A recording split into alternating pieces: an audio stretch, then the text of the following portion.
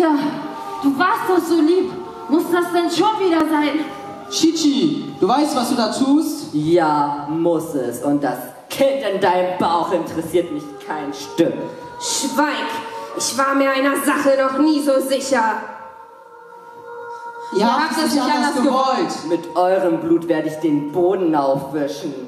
Nieder mit der Menschheit! Nieder mit euch!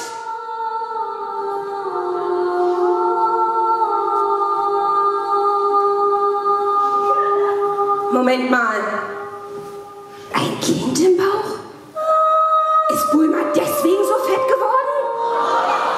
Chichi, es reicht! Aber ich will nicht noch mehr widerliche Mischlinge!